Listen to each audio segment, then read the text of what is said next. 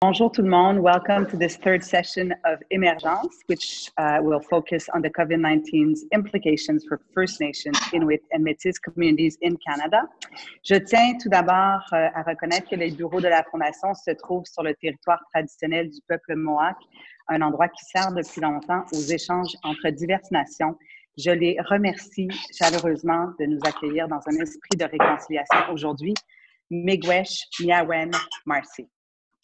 Alors, permettez-moi de prendre quelques instants euh, pour souligner le ferme engagement de la Fondation Pierre-Éliott Trudeau à contribuer au processus de réconciliation entre le Canada et les peuples autochtones et aux appels à l'action de la Commission de vérité et réconciliation du Canada.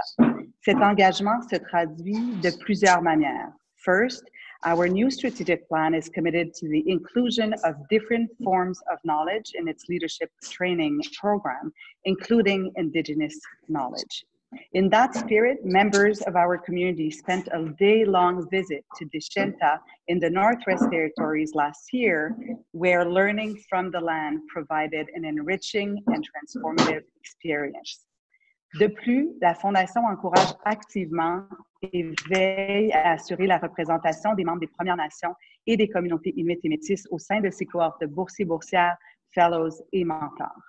Since 2019, we welcomed a record number of First Nations, Inuit, and Métis scholars in our community, and we are very proud uh, to take this direction. Moreover, in responding to one of the recommendations of the Truth and Reconciliation Commission, the Foundation recently adopted the policy on bilingualism plus, which encourages all scholars to learn Indigenous languages in addition to the official languages of Canada, French and English. Alors, encore une fois, nous sommes très fiers euh, d'innover dans ce domaine et de répondre aux appels à la réconciliation.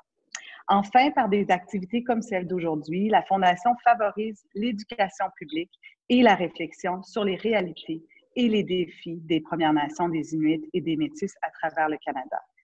Je remercie chaleureusement tous les participants et participantes euh, qui nous font cadeau de leur temps, de leur talent, de leur sagesse aujourd'hui. Thank you for making this time. It means a lot to the foundation. And I am uh, really privileged uh, to welcome uh, Mimi Laville Harvard, uh, who was the first ever Indigenous scholar, part of the, of the foundation, uh, cohort 2003. It is such a pleasure to welcome you. Thank you uh, for moderating this panel today. Merci. You're very welcome. And I want to say what an honor it is to be here with everyone today. Ani, Bojo, Sego, Segoli, Skanagoa, Wabmimi Dijnikas, Wikwem Kong, Donjaba. I shared with you my traditional name is Wabmimi, which means white dove in my traditional Odawa language. And I'm from the Wikwemikong First Nation on Manitoulin Island. And as mentioned, I was very honored to be one of that first cohort of the Trudeau Scholars and have a very special spot in my heart for all of my fellow scholars as we you know began that journey what now seems like so long ago and as we just you know today thinking about how important it is to have this conversation as we just came through yesterday's festivities you know in a very different way that because of the covid crisis the muted celebrations and yet it brings to mind the question of you know what does celebrating the creation of canada mean for indigenous peoples? And it almost seemed like yesterday's different kind of celebration was much more in line with how indigenous peoples are feeling when we celebrate the creation of canada we often in fact make a point of acknowledging that Canada has been here. We have been here for much longer than 150 years. Um, it's much more like 10,150. And, you know, we really want to celebrate the true long-standing history of Canada in this country. And so as part of that celebration and acknowledging of who we are as Canada, you know, moving into this really important conversation today. As recognized by Dr. Theresa Tam, Canada's Chief Public Health Officer, our First Nations, Inuit, and Metis communities across the country are among the most vulnerable to COVID 19 due to the long standing social inequities. Many of our communities living in third world conditions in the middle of one of the richest countries in the world living with a lack of access to basic healthcare services, clean water, housing, hydro. Many of our rural communities and remote First Nations have overcrowded living conditions. And the higher rates of problematic health conditions, the overrepresentation of our people with pre existing conditions and poorer health means that First Nations, Metis, and Inuit people are, in fact, much more vulnerable to this crisis, this pandemic. And calls into question our one size fits all recommendations that have come from public health authorities, which may be very difficult or, in fact, impossible to implement in remote, rural First Nations, Inuit, and Metis communities. So it's in this context, and as provinces are undergoing progressive deconfinement, as we're beginning to reopen, some First Nations communities across the country have put in place road checks or blockades over the roads and other gateways to their territory in order to avoid the spread of the virus into their community. My own First Nation on Manitoulin Island put up a blockade and did not allow anybody, even band members, in or out. Once you were in, you had to stay in. Members were not even allowed to leave the community to go for groceries. And while we understand, we have to recognize the singular importance that when we're talking about the preservation of our language, our history, and our culture, in communities where sometimes we have only a handful of Indigenous elders who still speak the language, even one COVID death among our elders wipes out a vast knowledge of our history and the potential for us to reclaim our language when we lose even one of those elders. So that's why it was so important to lock down our communities in this way. Even though it seemed extreme, even to many community members who objected to having their liberty limited in this way. And that's why it's important that we're having this conversation today. And I would like to introduce our panelists who are going to be discussing the intricacies, subtleties, and complexities of the COVID situation and the response to the pandemic for Indigenous communities. We have with us the Honorable Patti LaBoucane-Benson, who is a scholar from 2004. She is the author of The Outside Circle. Based on her doctoral studies, the graphic novel tells the story of colonization, historic trauma, healing, and reconciliation through the lens of an impoverished Cree family from Edmonton's inner city. Dr. LaBoucane-Benson is a national and international lecturer and trainer in areas including historic trauma informed service delivery, as well as the transformation of child welfare and correctional services into spaces that build individual, family, and community resilience. We are also very honored to have with us today the Honorable Elizabeth Dowdeswell, as the Lieutenant Governor of Ontario, Ms. Dowdeswell is committed to reconciliation and attempts to engage frequently with representatives of Indigenous communities by honoring the Crown's foundational relationship with them, ensuring Indigenous representation at events wherever possible, several of which I have had the honor of joining, and creating opportunities for Indigenous and non Indigenous people to come together in dialogue, dialogue such as this. We also have with us Jamie Snook, scholar from 2017. 2017 scholar and commentator, Jamie is an advocate for self determination in all aspects of Indigenous life, including locally led research. The global pandemic has provided the opportunity to witness how Indigenous communities have exerted leadership and sovereignty by creating locally appropriate and culturally relevant responses to COVID 19. Through examples from Inuit, Nunangat, the Inuit homelands, particularly from his home in Labrador, Jamie will highlight the ways in which Inuit have developed strength based approaches to support community health and well being based in science and evidence, yet grounded in Indigenous culture values in lands and waters. So, as we start off our conversation, I would like to address the first question to the Honorable Elizabeth Dowdeswell. after yesterday's celebrations, after all of the conversations about racism globally, in the middle of this pandemic, I'd like to ask why is the lieutenant is the lieutenant governor interested in this particular conversation at this particular juncture in time?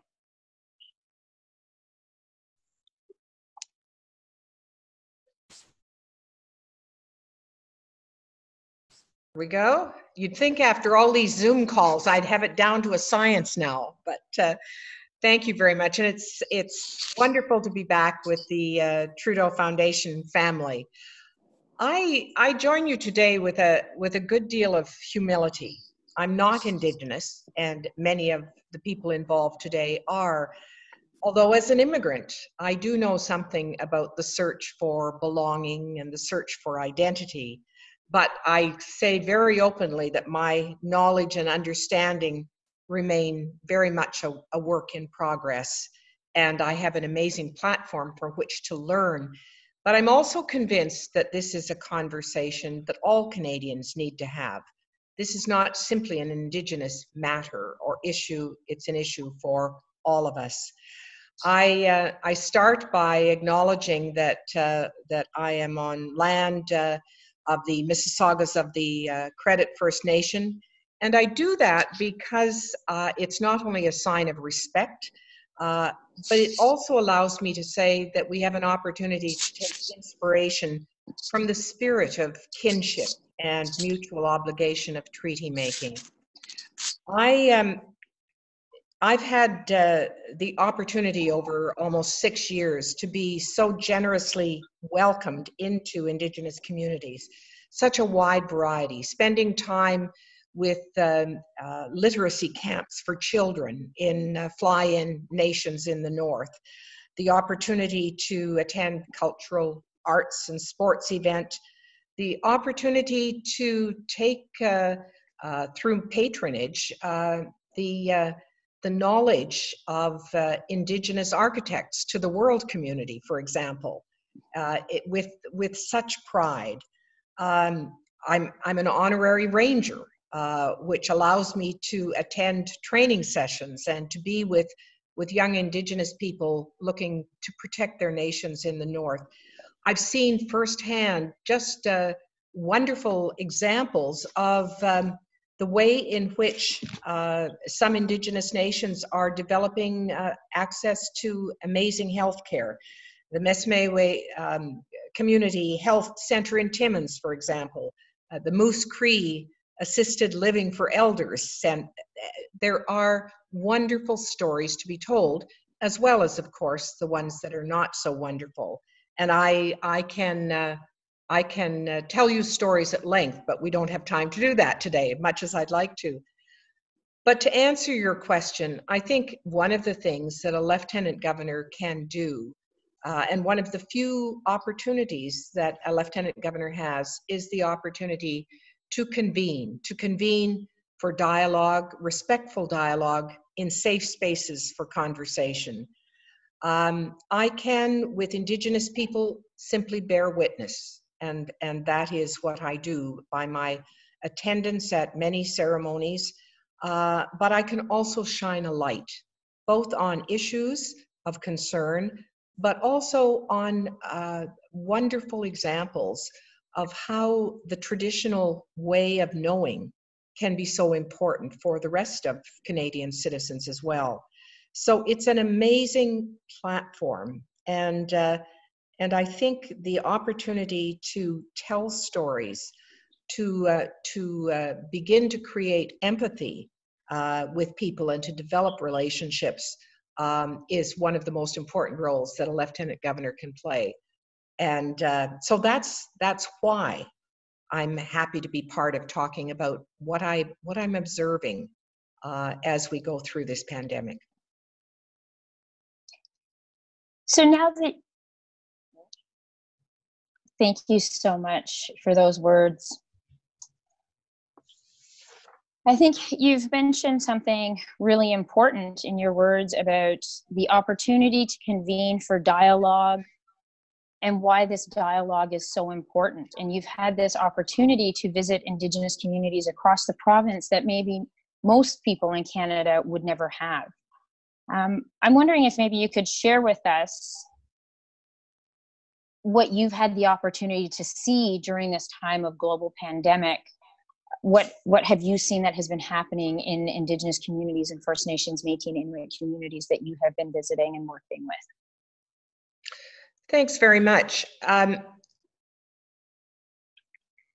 great Um, one of the wonderful privileges that I've had as I, over the last four months, have made this transition from external in person events to learning to operate in a digital world virtually. Um, I have had the opportunity to reach out to uh, hundreds of leaders across Ontario.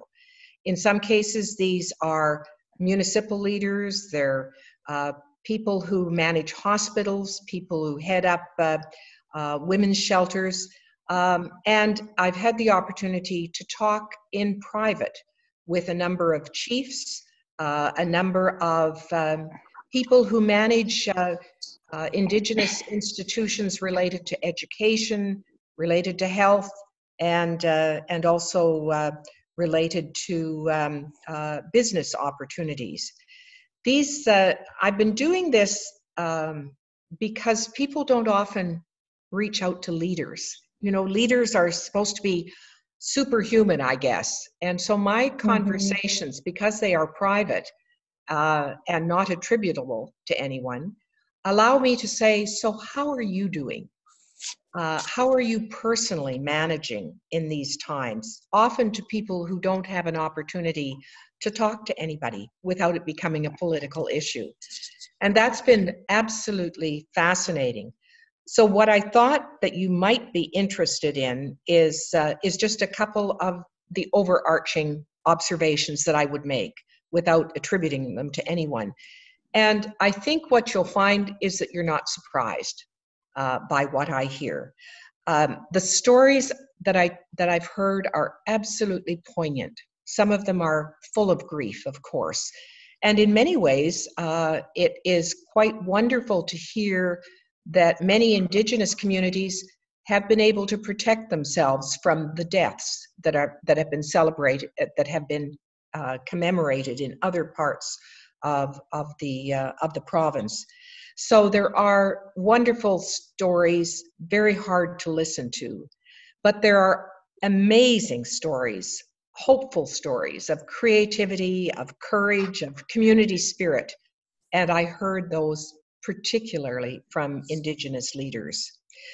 The other thing that uh, that I heard was um, collab about collaboration. Um, the uh, virtually everyone commented on this welcome lack of partisanship, uh, mm-hmm. and in fact, in Ontario, they, the Indigenous leaders in particular have spoken about uh, their partnership with the provincial government. And that's the way they, they frame it.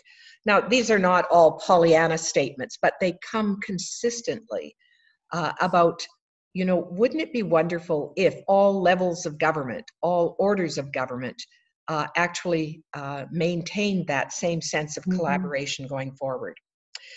And the second very positive thing that I kept hearing was a commitment to community and to caring. Uh, as you suggested yourself, Madam Moderator, uh, the even to the extent of restricting access to the community, which was very difficult for some of them to go through. But they took time to tell me about the mechanisms they put in place within their own communities uh, and, and stories of what actually worked. Uh, and, and that was so important to hear. And they were so proud of what they were able to do. I said that there weren't many surprises. Uh, and I think in many ways, I would describe the pandemic as really becoming a, a punctuation point. Uh, because as I go through the list, some of which you've talked about, um, I think there are a number of things, and we hear them all the time.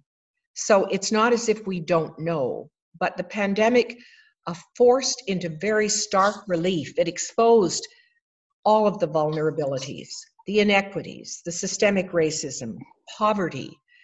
And they, in my mind, asked the question who is it and what do we actually value? Uh, what is mm-hmm. essential in this country? Mm-hmm. And, and, uh, and are we really going to address that?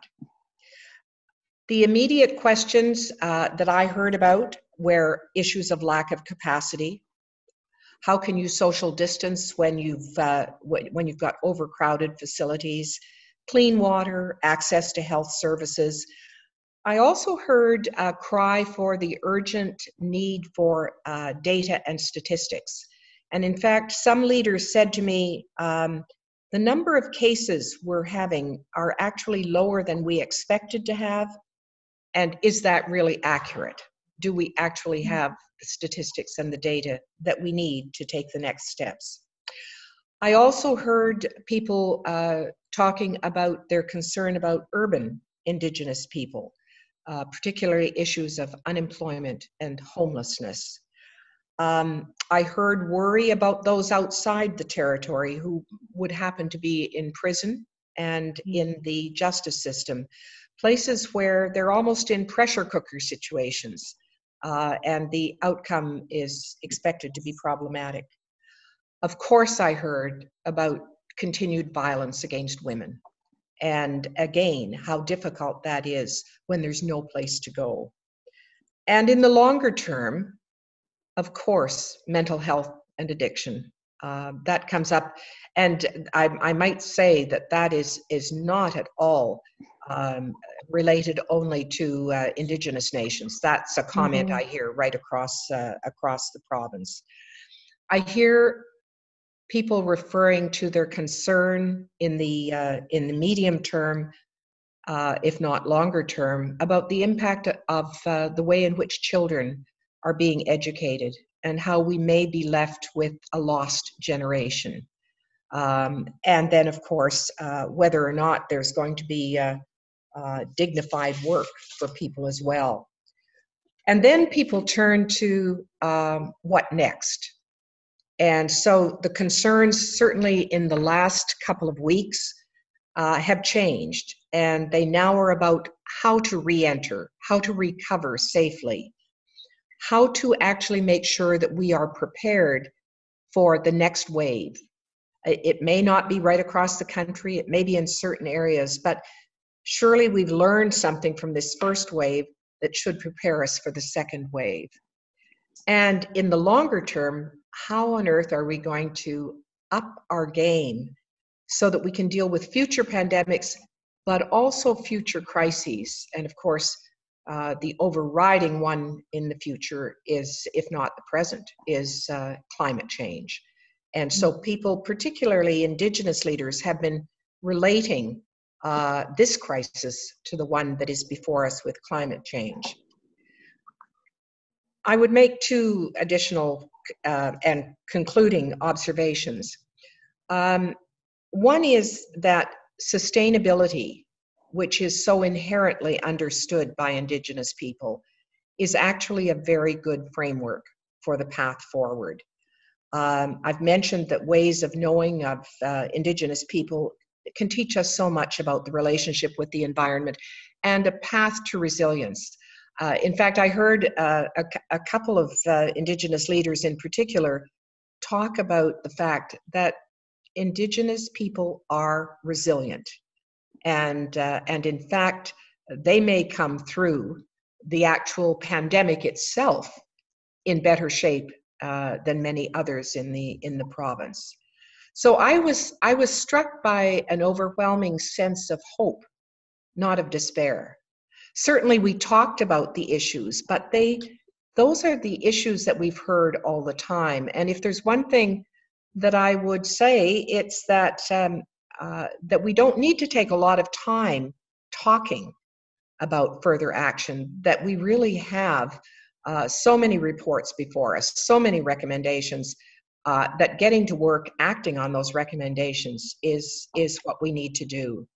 I would like to think that moving forward, we won't simply drift unthinkingly into some form of normalcy. That we have a, a collective amnesia about what we've learned as we've gone through this. I uh, I rather hope that we'll be energized to actually uh, use this moment to design a better normal, not even a new normal, but uh, a better normal. And I think genuine dialogue, action will do that.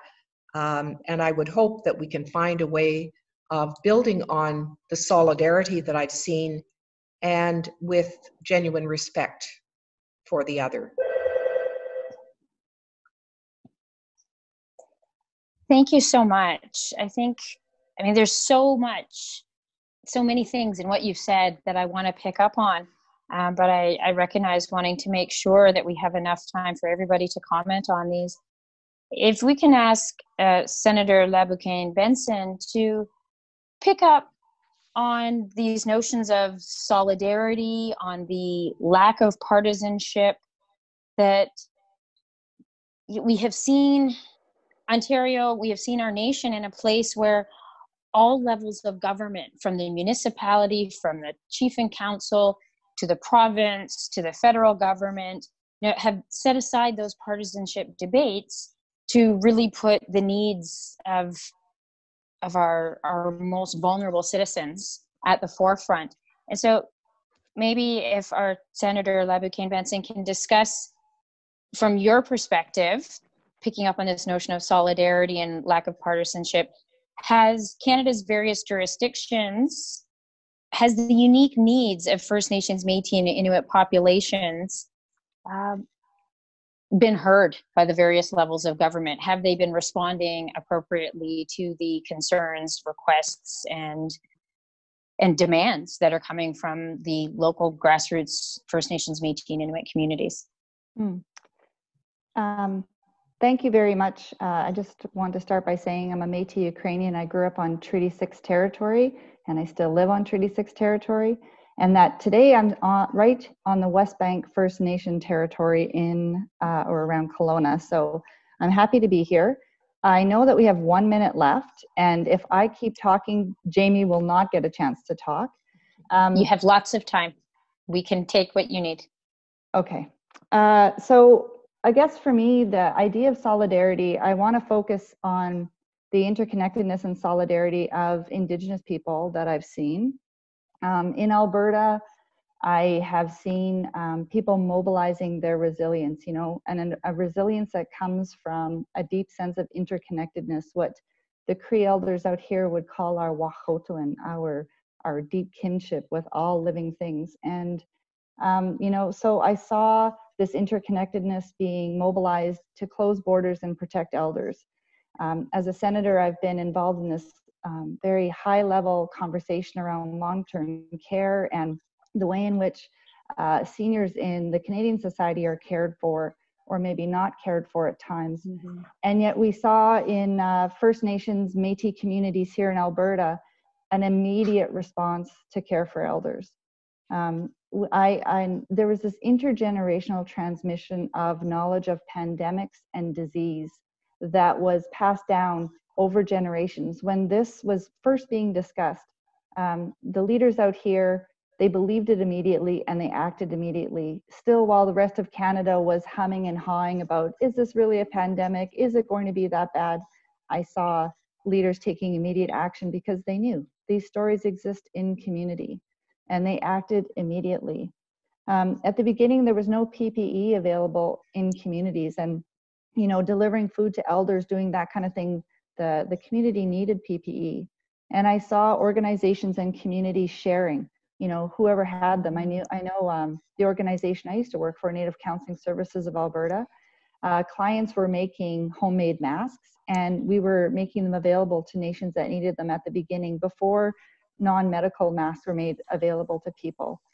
Um, most importantly, though, the discussion around ceremonies has been critical. Mm-hmm. Um, the community that I'm involved, uh, ceremonial community I'm in, uh, the elders were talking about fasting and Sundance, which this is this is ceremony season. Summer is the time that we go out and we pray for our people and we we get very focused on you know the spiritual health of our people and not the idea of not having Sundance and not having the fast and not um, uh, uh, strengthening ourselves spiritually was was uh, an important conversation. And elders were in this very interesting position of the exact thing that they have to offer to help their people is the thing that they were being told not to do because of social distancing and the capacity, you know, to get to ceremony and and be there in a healthy way.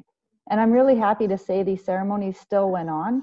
They went on in a mindful way that we were in the middle of a pandemic, but the elders were still able to offer to the people that which they they needed to um, to to offer ceremonies that actually were responsible for the resilience the sense of identity the interconnectedness that helped indigenous people survive colonization and to con- continue to survive colonization those things were still going on so um, this deep interconnectedness in the community is what helped people to survive the, the first wave of this pandemic quite successfully. I would say First Nations and Metis people have survived it better than other Canadians. We could learn from them.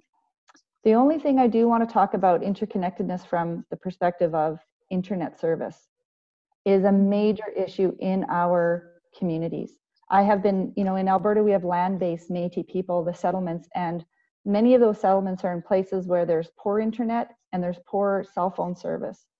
And I have been talking with leadership out there, and it's important because while we all started working from home on Zoom, um, we all got set up with our headsets, and you know the Senate has been doing its work on committees over Zoom.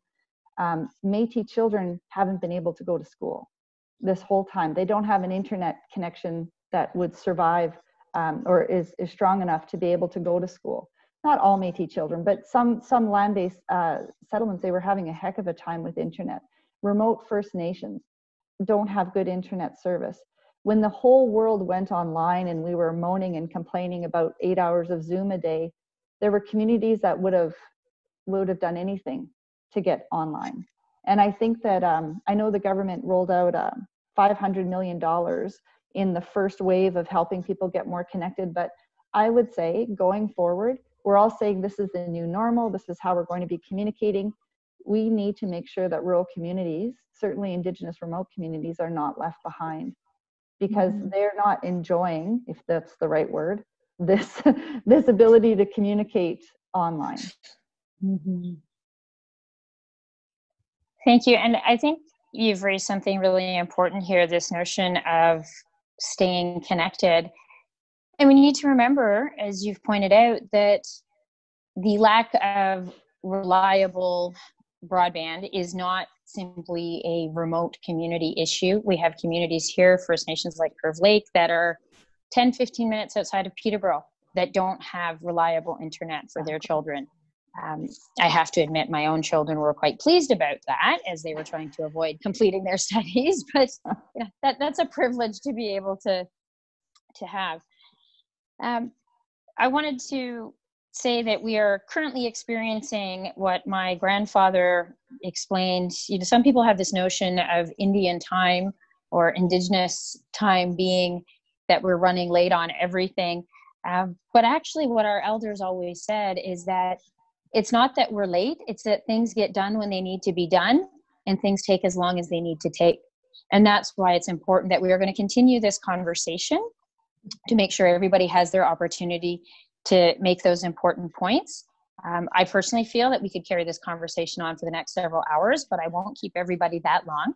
Um, but we will certainly add about another 20 minutes here to make sure everybody has time. Is this is such an important topic, and we could carry on. I wanted to, you know, further the conversation when we're talking about connectivity, when we're talking about the um, the long term impacts that's going to have. I know both of our speakers have already brought up the issues of the long term mental health impacts that this COVID pandemic is going to have, not only on the elderly who are isolated, but also on those younger generations who are similarly isolated at a time when it's mm-hmm. absolutely critical to their development. So I would actually invite any of our our panelists and our, our commentator to if you had any comments you wanted to make on what you see you know as we're emerging from this or or potentially when we're talking about what a new and better normal what that new normal is going to be like um, with regard to potential long-term impacts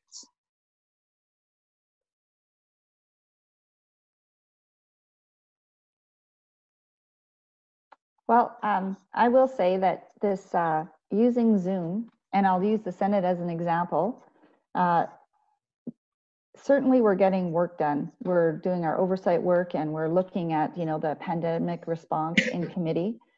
But I think the Senate suffers when we are not interconnected, when we do not have face to face meetings. The Confederation requires us to talk to each other, to learn from each other. The only way to find the common ground to move forward as a government is through relationships. And there's no, you know, the elders have said that there's no um, substitute for face to face. I would say it's exactly the same in our communities. You know, when when children and elders are not spending time together, other than if they are in the same um, house, uh, we're suffering. The I think that we suffer when we are not able to um, to build relationships face to face, to understand where the other person is coming from. And even though I think we've done a valiant effort to try to stay connected, nations and organizations in Alberta, over the long term, we're going to suffer if we don't have an opportunity to meet face to face and to talk through um, to talk through the challenges in Mm-hmm. front of us. Thank you. I think that's so important. Um, would our honorable lieutenant governor like to comment on this? Well, you you just remind me of of one of the the most the saddest stories I heard was from a leader of an organization who uh, who uh, told me that she had to break all of the rules because of her 13 year old daughter who was so suffering Mhm. from not being able to connect and even though uh, and and she was in a position of authority she was in a uh, a position of a certain amount of status and she just said i just had to break the rules for my 13 year old Mhm. uh, Mhm. those uh, really really very heartfelt stories and a lot of them relate i don't think we really fully understand the impact of isolation uh, for children, certainly, I worry about them, uh, but uh, but I worry about uh, our elders as well, who uh, who uh, are are being have the feeling they're being left alone, and I do think that uh, finding some way to to ease that uh, ease into uh, much more connectedness that we have right now is absolutely crucial. Mm-hmm. Thank you. Um, Jamie, did you want to comment on this all important question of the long term mental health? Yeah, no, I uh, I just thought of an interesting story myself, and that uh, it's not uh, right to necessarily assume that education uh, stopped happening uh, with the pandemic, because uh, I know in our region in Labrador, a lot of people took to the land. It was spring Mhm. season, it was seal hunting season, and uh, there's a beautiful story that was told on the current last week uh, by a family from Rigolet who uh, many youth had harvested their first seal this spring because they weren't in school. So Hmm. uh, I think it's important for us to acknowledge that aspect of it as well. That uh, there was certainly uh, a lot of time spent on the land in this region, and I'm sure right across Canada. So we can take that into account when we consider education, but also mental health and, and wellness for sure. Thank you so much. I think that it's a really good point is that our young people are having a very different kind of education.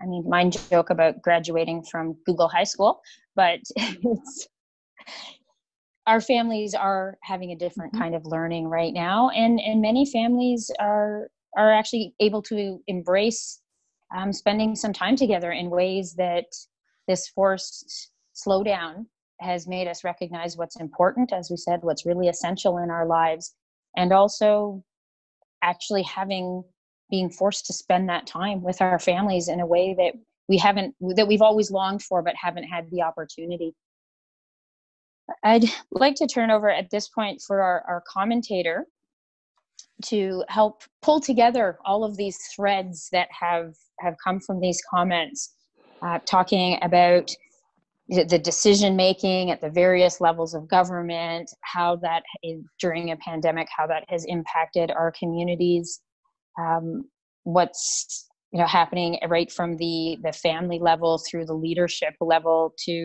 you know leadership at the municipal provincial or federal level and how you see that this relationship between the First Nations, Métis, and Inuit peoples of Turtle Island with Canada as a, as a larger society, um, how that's going to emerge from this pandemic. What so just some thoughts on any any aspect of that. Yeah, no, I realize that was a lot. oh, thank you. And uh, sure, we can all acknowledge it's a very complex uh, question to uh, to summarize. But uh, I wanted to uh, thank all of you for all of the great work you've done in advancing Indigenous health and well-being, and uh, and certainly appreciate it going through all of the bios of the panelists and yourself. Uh, and I just wanted to situate my myself as well. I was uh, born and raised in, in Labrador on the southeast coast in the southern Inuit territory of Nunatukavut, and, and I am a proud member of the Nunatukavut uh, Community Community Council. Uh, and I was born in a small coastal community that I wanted to show everyone uh, behind me today because I, I, am proud to be uh, from a small place, less than 400 people. Uh, and when the pandemic uh, became evident, and as a researcher, a lot of us were uh, wondering uh, how were we going to get into communities and stuff like that. And uh, we quickly realized that that was the least of uh, people's worry in community. and I felt it was very heartening and empowering to see indigenous organizations, in this case the Nunatukavut Community Council, uh, respond the way that they did, uh, which was quicker, it was more cautious, uh, it was more culturally appropriate, mm-hmm. uh, and guidelines were quickly put in place for researchers. Uh, programs were put in place, such as delivering firewood to elders, harvester support programs, uh, one mask per person project where local sewers got together. It was a whole uh, realm of actions that show that Indigenous people uh, will and can take care of their own. And our own history in Labrador has shown through things like the Spanish flu and other health crisis like tuberculosis and high suicide rates that we really can't depend on anyone else when it comes right down to it. I mean, there needs to be that level of self determination, and I, I felt really uh, uplifted to see that happen to a greater extent this time without the indigenous governments in place that are in place today.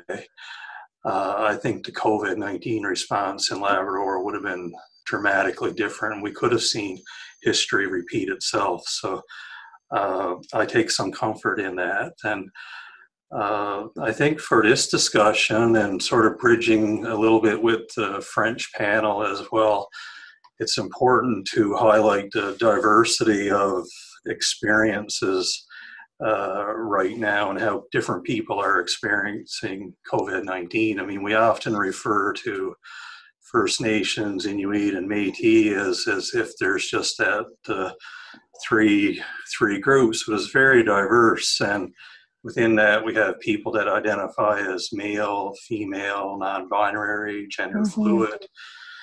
Um, we have status and non-status, people with land claims, people without land claims.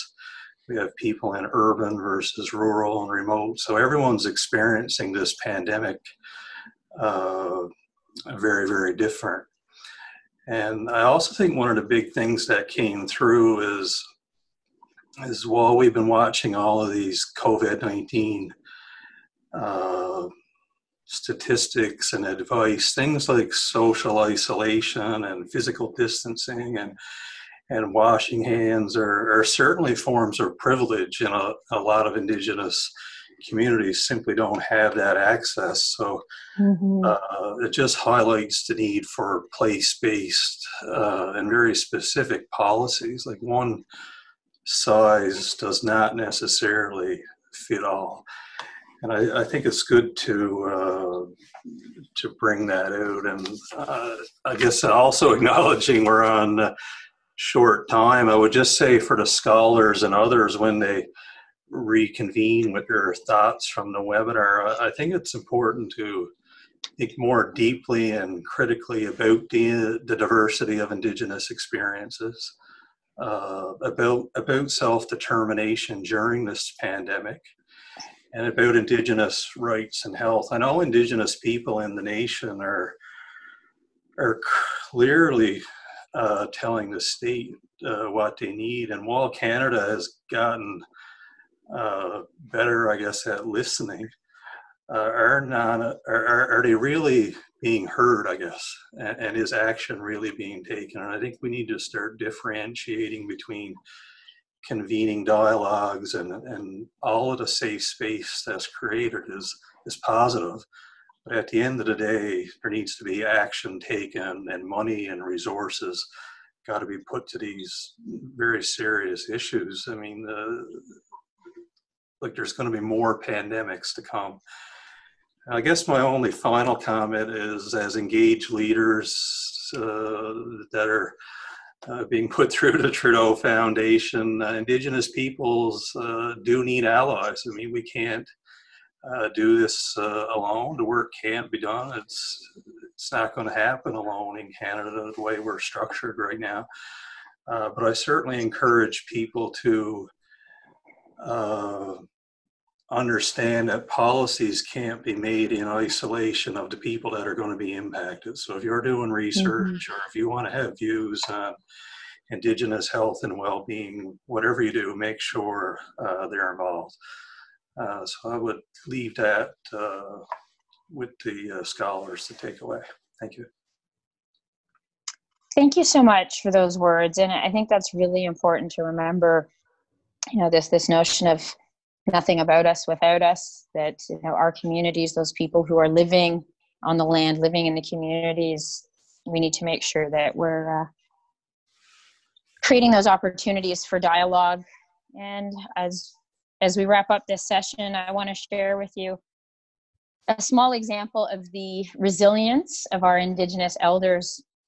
When my mother, who is in her 80s, or almost in her 80s, and my children ended up on opposite sides of the barricade when our First Nation closed down. And you know, we were told the rules of the province that unless you you weren't allowed to be in contact with anybody outside of your own home, anybody who didn't live in your home, and so she called me one day and she said she had found a solution. And lo and behold, not long after, my mother showed up at my door with her suitcases, three dogs, couple of cats, and said, We live with you now. And she, so I now have six dogs in my house, seven cats, and absolute chaos, but everybody is happy. The kids have been learning how to cook traditional foods, they've been harvesting medicines, and you know, learning that they would never have got in the school and this is a time that they will never forget that they were able to spend this time together. And so it really has made us realize uh, all our relations what's important to us as as human beings as indigenous people and as societies around the world. We've really now come to realize that that relationship is the most fundamentally important part and all the rest of it becomes non-essential when push comes to shove in this situation so I think at this point, I know we have gone over. We need to wrap this up. I want to thank everybody for taking the time to be here with us today, to offering your insights and your wisdom and your experience and perspectives. I think, as you've mentioned, that all of us at every level of government, at every level of society, at every level of the community need to be engaged in improving the circumstances for Indigenous peoples across this country if we are going to see Canada as a society that is is just and equitable, everybody needs to be part of that work. And today's session was one small part of that, I hope. So at this point, I would like to turn it back over to Pascal for any final comments you need. Yes, thank you. Thank you to everyone. Uh, it has been a very rich uh, session in French and in English. Uh, we are learning from all of you. Uh, I like uh, the closing remarks from Jamie and, and Mimi that we're in this together and we have uh, to walk in the same direction, which is a direction of reconciliation. So this involves deep listening. It also involves actions. Uh, so thank you for, uh, for being here with us. Alors, merci à tout le monde. Uh, ça a été une, vraiment une session extraordinaire. À bientôt. Euh, bienvenue tout le monde à nos discussions sur notre émergence de la crise de COVID. Je vous joigne de la territoire de trois Premières Nations, le Huron-Wendat, les Haudenosaunee et les Mississauga de New Credit First Nation. Euh, on parle du relancement d'un monde qui sera d'une manière ou d'une autre très changé.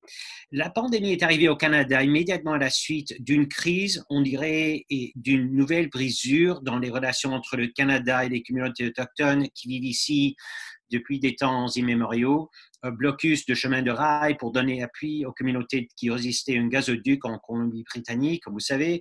Euh, question profonde alors sur l'avenir de la réconciliation. Ensuite, la pandémie, qui menaçait particulièrement les communautés autochtones à cause d'un système de santé déjà en crise et des conditions de vie dangereuses dans plusieurs communautés. Par contre, on commence à apprendre comment plusieurs nations autochtones ont mieux géré les menaces de COVID que leurs voisins canadiens. En Colombie-Britannique, par exemple, les communautés de Premières Nations montrent un taux d'infection beaucoup plus petit que dans la population générale. Et au nord de l'Ontario, les chercheurs à Laurentian University en Sudbury étudient comment les Premières Nations protègent leur communauté en faisant une synthèse des datas de santé, de santé publique et des traditions orales des épidémies qui leur ont déjà touchées. Histoire à la fois de vulnérabilité particulière créée par un racisme systémique enraciné dans l'histoire canadienne et de leadership particulier dans les communautés autochtones dont on devrait tout apprendre. Durant les prochaines 25 minutes, on a le grand honneur d'en discuter avec Sophie Thériault. Bonjour Sophie. Euh, Sophie est professeure agrégée à la section de droit civil de l'Université d'Ottawa, euh, où elle enseigne notamment le droit des peuples autochtones, le droit de l'environnement et le droit constitutionnel. Elle était boursière de la Fondation Trudeau en 2003. Euh, et Dion Roméo Saganache, bonjour Roméo. Bonjour. Bonjour. Euh, Roméo est ancien député fédéral représentant la circonscription d'Abitibi, Bay James, Nunavik et You, ancien vice-chef du Grand Conseil des CRI et ensuite leur directeur des relations avec le Québec et le monde. Parmi ses plusieurs chefs d'œuvre, euh, La paix des braves avec le chef Ted Moses, traité important entre les CRI et le Québec, et passage dans la Chambre des communes d'un projet de loi visant à harmoniser la législation canadienne avec la Déclaration des Nations unies sur les droits des peuples autochtones. Roméo Saganache était mentor dans la Fondation Trudeau en 2005. Et à la suite de notre discussion, euh, Sébastien Brodeur-Gigrard nous offrira un commentaire. Bonjour Sébastien. Euh, Sébastien est avocat et professeur à l'École d'études autochtones de l'Université du Québec à Abitibi-Témiscamingue, où il enseigne notamment le droit des peuples autochtones les enjeux contemporains autochtones. Entre autres, il était juriste et co-directeur de l'équipe de recherche au travail euh, de la Commission Bien à Québec. Alors, commençons avec, euh, avec toi, Roméo. Je voulais vous demander une question peut-être un peu bizarre, étant donné que ces discussions sont supposées examiner l'émergence canadienne de la pandémie. Mais est-ce qu'on est correct vraiment de cibler ce sujet quand on essaie de comprendre ce qui se passe dans les communautés autochtones à travers le pays? Il me semble, en lisant, que l'essentiel aujourd'hui dans les communautés autochtones et parmi les chefs est plutôt une crise qui n'est pas nouvelle, racisme systémique, brutalité policière, etc. De quoi est-ce qu'on parle davantage dans des communautés ces jours en prenant un café de matin? C'est une bonne question. Euh, je pense qu'une des choses que euh, COVID-19 a, montré avec euh, beaucoup plus d'acuité, je dirais, c'est les inégalités et les iniquités que les peuples autochtones subissent depuis trop longtemps, à mon avis. Donc, cela m'amène à penser que déjà que nous étions très en arrière de l'ensemble du Canada, euh, socio-économique, culturel euh, et autres. Euh, on était très en arrière. Et malgré le fait que nous, sommes à peu près 5% de la population canadienne, nous recevons moins de 1% de l'aide financière qui provient pour, aider les communautés autochtones. Donc, cela va nous amener encore plus en arrière à mon avis, lorsqu'on sortira éventuellement euh, de cette crise. C'est cet aspect-là qui, est très difficile dans les communautés autochtones. Euh, oublions la distanciation sociale. Quand tu habites dans une maison euh, avec 20 personnes et deux chambres, c'est impossible à faire. Euh, oublie l'obligation de, de, laver tes mains continuellement, régulièrement, quand tu n'as pas d'eau potable dans la communauté. Donc, il y a tous ces éléments-là qui, qui nous amènent, en tout cas nous, à penser que ces, mesures de distanciation sociale, de ce lavage de mains régulièrement, euh, est un dialogue de, de, privilégiés, ce que les communautés autochtones ne sont pas. Alors, c'est ça qui est, difficile dans, tout ce, débat pour, nous dans, dans les communautés. Euh, Sophie, si on prend euh, si on prend euh, ce que Roméo dit comme point de lancement, il, est facile d'imaginer au grand que le COVID nous touche par surprise soudainement de manière complètement nouvelle. Mais vous avez écrit par contre qu'il est essentiel de contextualiser la pandémie dans les formes de colonialisme qui prédisposent les communautés autochtones au risque posé par ce virus. On pourrait évidemment parler pendant des heures et même des jours des, années même, évidemment. Mais euh, pourrais-tu quand même nous introduire à ce contexte, euh, continuer à nous introduire à, ce contexte? Oui, bien entendu. En fait, si on veut que la pandémie de COVID-19 puisse engendrer des changements véritablement transformateurs, véritablement durables, des changements justes, euh, il est essentiel de considérer la pandémie non pas comme un événement ponctuel, un événement isolé, euh, mais comme un événement s'inscrivant dans un contexte historique beaucoup plus vaste, marqué par diverses formes de colonialisme, de racisme et de discrimination systémique là, qui ont euh, déjà été euh, soulignés par euh, Roméo. ensemble de processus coloniaux qui euh, vont compromettre la santé et le bien-être des communautés autochtones et de leurs membres et donc les rendre davantage vulnérables ou poser des risques accrus dans le contexte de crise sanitaire comme la pandémie COVID-19.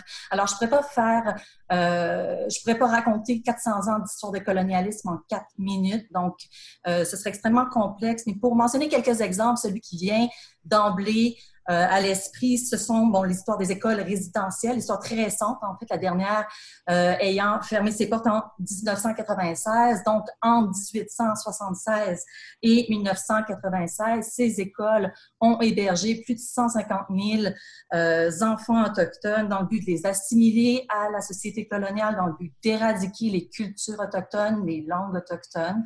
Euh, ces écoles étaient notoirement, telles qui été documentées par la Commission de vérité et de réconciliation, mal gérée, sous-financée, mal entretenue. Euh, des milliers d'enfants autochtones euh, y ont vécu des violences euh, de toutes sortes. Plusieurs y ont laissé leur vie, y compris du fait de pandémie. Donc, les traumatismes intergénérationnels issus de l'histoire des pensionnats, bien entendu, affecte le bien-être euh, de nombreux membres des communautés autochtones aujourd'hui et peut les rendre plus susceptibles aux complications euh, liées euh, à des crises sanitaires, notamment aux crises de la pandémie de COVID-19. Et envisager en fait, la pandémie dans un contexte comme celui-là permet de comprendre les mesures très strictes, souvent plus strictes que les mesures fédérales et provinciales, que plusieurs communautés ont adopté pour protéger leurs membres et pour limiter la propagation du virus en leur sein. Je pense notamment à Kanakaskanesatake de Chef Simon, qui a fermé euh, les portes de la communauté au tiers pour protéger particulièrement les aînés qui sont très fragilisés par la pandémie de COVID-19, soulignant que les 60, euh, qu'il voulait aussi protéger les 60 derniers locuteurs de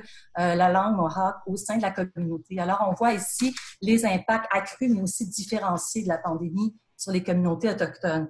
Les écoles résidentielles s'inscrivent en outre au travers des nombreux processus historiques et contemporains par lesquels les peuples autochtones ont été et continuent d'être dépossédés de leurs terres, territoires euh, et euh, de leur euh, souveraineté. Euh, notamment au fin de la mise en œuvre de grands projets de développement économique auxquels de nombreuses communautés autochtones participent que marginalement. Et ironiquement, alors qu'on tire des milliards de dollars de l'exploitation des territoires ancestraux des peuples autochtones, comme le mentionnait euh, très clairement Roméo, euh, les euh, peuples autochtones sont victimes de discrimination systémique de la part du gouvernement fédéral dans le financement et l'accès aux services de base que les Canadiens et les Canadiennes prennent tous pour acquis, que ce soit l'accès à un logement suffisant, l'accès à l'eau potable, l'accès à l'éducation, euh, et l'accès aux services à l'enfance, euh, etc. Alors, à l'heure actuelle, pour donner, un, Romy a donné déjà plusieurs exemples, mais quand on a 24 des logis au sein des euh, réserves qui sont surpeuplées, il est très difficile de s'isoler physiquement ou de se confiner si on est atteint du virus. la situation du logement, il faut le souligner, pose des enjeux particuliers pour les femmes autochtones et les enfants victimes de violences domestiques, notamment lorsqu'on a une insuffisance de logements euh, sécuritaire au sein, euh, au sein des communautés. Euh, Roméo a mentionné également l'enjeu de l'eau potable. Il y a encore 61 communautés des Premières Nations au Canada qui, sont sous un avis de d'ébullition à long terme, certains depuis plusieurs décennies. Donc, on leur demande au final de nettoyer leurs mains le plus souvent avec de l'eau contaminée. En somme, l'ensemble des processus coloniaux et des injustices systémiques vécues par les peuples autochtones ont compromis et continuent de compromettre la santé et le bien-être des peuples autochtones d'une manière qui les prédispose aux risques, euh, à des risques accrus et à des risques différenciés face à des pandémies. Roméo Saganache, euh, Sophie a mentionné ici plusieurs décisions qui ont été prises par des communautés euh, particulières pour protéger leur population euh, du virus. le monde au large fait face à d'énormes défis en luttant contre, ce virus. Mais qu'est-ce qu'on peut apprendre des décisions qui ont été prises par des communautés autochtones que tu connais ou que, que tu as vues pour nous aider à tourner la page? je pense que Sophie a donné un des exemples qui était exemplaire, je pense, dans, les mesures prises. Euh, il y a également euh, au nord du Québec, chez les Cris, chez les Inuits, euh, qui sont, je pense, les deux premières régions qui ont été fermées par leurs dirigeants. alors, je dis bravo à ces, deux peuples. D'ailleurs, le, le, territoire CRI continue d'être fermé au moment où on se parle. Ils ont pris cette décision-là. Cette table de coordination euh, pour la COVID-19 chez les CRI euh, est très ressemblable, euh, très précis dans ses, mesures et ses décisions, de sorte que la région Bay James est encore fermée. cette table de coordination inclut le grand chef, la vice-grand chef, la présidente du Conseil de la santé des services sociaux de la baie James, euh, la présidente de la commission scolaire CRI. Donc, tout ça est fait euh, de façon coordonnée. Euh, c'est pour ça que les, mesures qui sont prises sont, assez larges et, complètes le bon côté de, cette fermeture, c'est que présentement, euh, depuis deux mois à peu près, c'est ce qu'on appelle chez les CRI le goose break. Alors, tout, le monde, de toute façon, s'en allait sur le territoire, euh, ce qui est prévu par la Convention de Beijing, premier traité moderne au pays. Euh, les CRI ont institutionnalisé leurs pratiques traditionnelles et ça inclut la chasse à l'outarde de printemps. Donc, toutes les écoles, euh, ferment habituellement pendant ce temps-ci euh, dans toutes les communautés. Et tous les enfants accompagnent leurs parents euh, sur le territoire pour cette chasse traditionnelle à l'outarde. Alors, ça tombait bien cette année pour ça. C'est la seule bonne raison que je trouve à dire de, ce côté-là. mais autrement, même la, la communauté CRI donne des avis trois fois par semaine euh, à tout l'ensemble de la population, à la radio. Euh, évidemment, avec les médias sociaux, ça facilite la tâche. Euh, donc, nous, nous donne des, régions qui sont à éviter pour nous. Alors, c'est très, très complet comme, comme, exercice à toutes les semaines, trois fois par semaine. Et j'en suis ravi de voir ça. Je pense que ces mesures ont sauvé bien des vies dans les communautés clés au Québec. Euh, est-ce que la fermeture de ces communautés durant si longtemps euh, a créé, d'après ce que tu vois, des changements dans les communautés eux-mêmes d'une manière ou d'une autre? Euh, c'est-à-dire que ça, a rapproché à tout le moins les communautés autochtones et non autochtones dans la région de la Beijing. donc, en ne sortant pas, il faut dans l'épicerie à Chibougamau, à Chapet, etc. Donc, à Matagami aussi. donc, ça a rapproché un peu ces communautés-là parce que depuis quelques décennies, on a remarqué que les cris faisaient leur, course à l'extérieur de la région, à Val d'Or, à Montréal. donc, en fermant les, frontières de la région, je pense que ça a permis un rapprochement de ce côté-là. On s'apprécie beaucoup plus, je pense. Euh, donc, dans ce sens-là, euh, c'est très positif euh, pour, tout le monde dans, cette région, autant les cris que les non-cris de, des Jamésiques, comme ils se nomment. Euh, Sophie Thériault, euh, je vais finir ici avec euh, un des d'œuvre qu'on a mentionné, un, don, un, don de, de Roméo pour, tout le Canada. Il était bien sûr responsable pour la réussite de l'adoption par la Chambre de communes du projet de loi C-262 qui visait à harmoniser la législation canadienne avec la Déclaration des Nations Unies sur les droits des peuples autochtones, un projet de loi qui commençait et mort au Sénat. Euh, tu es jeune avocate de la prochaine génération. En préparant pour cette session, tu avais précisé que la pandémie témoigne de l'urgence de, euh, se mettre en main cette, euh, ce, ce projet de loi. Pourquoi? J'aimerais bien d'ailleurs entendre Roméo sur cette question, donc je vais essayer de prendre un peu moins de temps. Alors, on a déjà parlé de l'ensemble des mesures qui ont été adoptées par plusieurs communautés autochtones à travers le pays pour protéger leur population. Euh, certaines communautés ont invoqué expressément, par exemple, la loi sur les Indiens, une loi coloniale pour asseoir leur pouvoir. D'autres ont invoqué leur traité, mais plusieurs ont invoqué leur droit inhérent à l'autodétermination qui trouve son fondement dans les ordres juridiques autochtones et qui est également reconnu par la Déclaration des Nations Unies. Euh, donc, si on se fie aux chiffres actuels, et Roméo l'a souligné, il semble bien que les mesures qui ont été adoptées par les communautés autochtones euh, ont été efficaces euh, pour éviter la propagation du virus au sein de ces communautés. Et pour reprendre un texte récent des auteurs autochtones, Amy Craft, Deborah McGregor, Jeffrey Hewitt, c'est peut-être en fait parce que les communautés autochtones euh, sont les mieux placés pour comprendre quels sont les besoins, quelles sont les situations particulières de leur communauté, qui euh, est la manière de répondre donc à cette, euh, à cette situation. Alors, il faut être clair, je pense qu'il est important de souligner que les peuples autochtones n'ont pas besoin de l'État pour affirmer et pour appliquer leurs droits euh, leur juridiction inhérente sur leur territoire, euh, leur territoire ancestraux. Ils peuvent, pour ce faire, s'appuyer sur leur propre ordre juridique qui précède l'État canadien.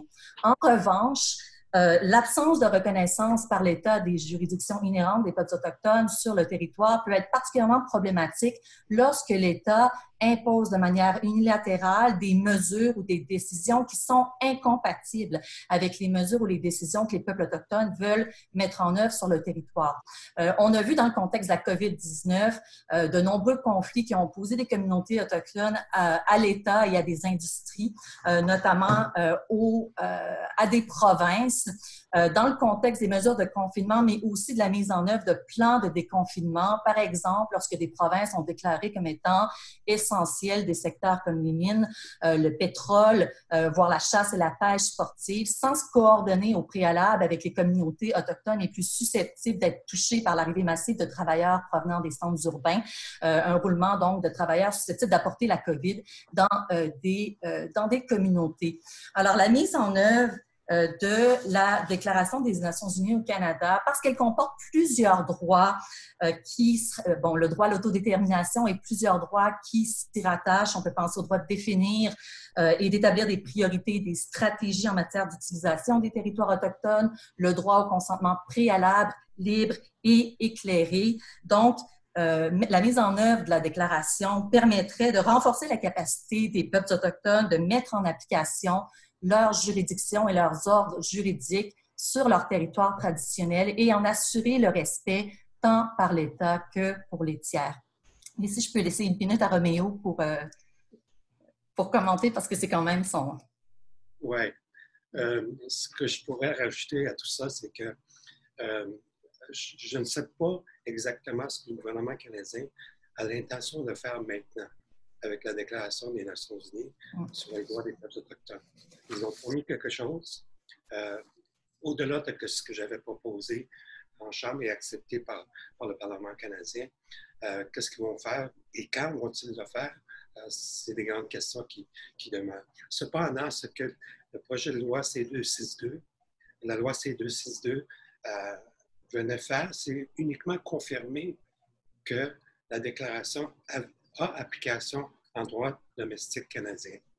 Euh, il s'agit de la respecter, de la mettre en œuvre, euh, parce que la déclaration s'applique comme tous les autres instruments en droit international. la déclaration s'applique au Canada déjà.